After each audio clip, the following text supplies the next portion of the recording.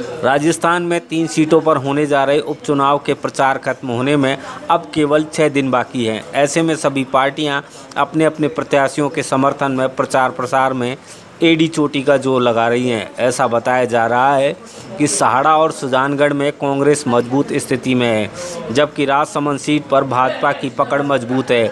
ऐसे में भाजपा इस सीट को हाथ से नहीं निकलने देने के लिए पूरा दम झोंक रही है।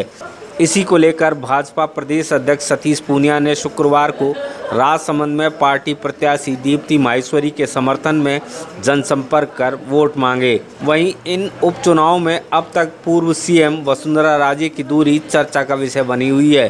राजसमंद में इस मामले पर प्रदेश अध्यक्ष पूनिया ने कहा कि वसुंधरा राजे पारिवारिक कारणों से फ़िलहाल प्रचार में नहीं आई हैं। उपचुनाव से उनकी दूरी की वजह सियासी नहीं, बल्कि पारिवारिक है। अभी 15 अप्रैल तक प्रचार होना है। ऐसे में अभी भी वे प्रचार कर सकती हैं। बीजेपी में गुटबाजी नहीं है। यह सिर्फ़ कांग्रेस का भ्रामक प्रचार है। भाजपा नेता कह रहे हैं कि राज्य की पुत्र वधु की तबीयत खराब है। इसकी वजह से वह अब तक चुनावी रण में नहीं उतरी हैं। वहीं दूसरी ओर कायास ये भी लगाए जा रहे हैं कि वसुंधरा राजे सत्ता संगठन में साइडलाइन किए जाने से खफा हैं। इसकी वजह से उपचुनाव में भी पार्टी प्रत्याशियों के लिए मैदान में नहीं उतरी हैं। उन्होंने अब तक पूरे चुनाव से दूरी बनाए रखी है।